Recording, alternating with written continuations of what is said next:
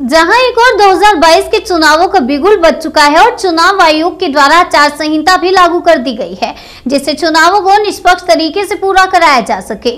लेकिन दूसरी ओर समाजवादी पार्टी के कार्यकर्ता आचार संहिता लगने के बाद भी परिवर्तन यात्रा निकालकर आचार संहिता की धज्जियाँ उड़ाते नज़र आ रहे हैं।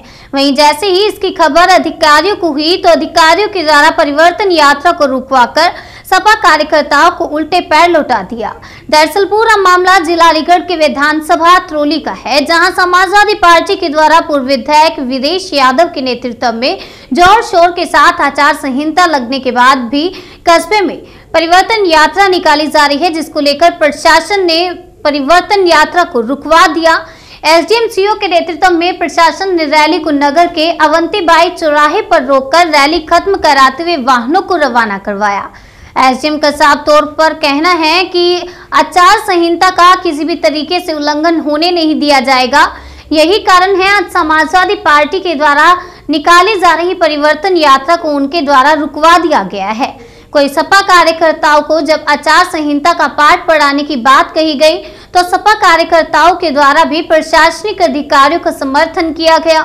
यही कारण है, चंद घंटों पहले शुरू हुई परिवर्तन यात्रा को चौराहे पर ही रोक दिया गया।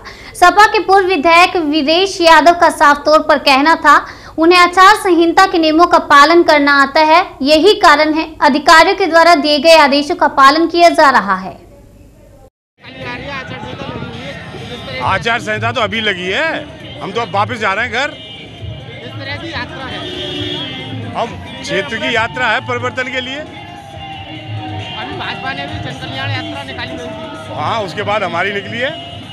किस तरह से देखते हैं आप इस यात्रा को? अब देख रहे हो प्रशासन हमारी यात्रा में अड़चन लगा रहा है सरकार के इशारे पे। किस तरह का जन समर्थन मिल रहा है। आप देख ही रहे हो कितना भारी जन समर्थन मिल रहा है। समाजवादी की सरकार आ रही है एक महीने में। कितनी सीटें मान के चल रहे हैं आप?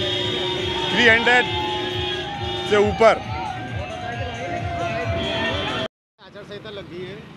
रैली भी निकल रही थी इसको रुकवाया गया प्रशासन द्वारा। किस तरह की आगे व्यवस्थाएँ रहेंगी? किस तरह से रैली रुकवाएगी नहीं रैली को जो है जो आ रही थी अब चूँकि काफ़ी भीड़ थी तो इसको यही अवंती बाई चौराहे पर रोक कर जो है इसको डिस डिफरेंट डायरेक्शंस में इनको जो है डिस्पर्स कर दिया गया है।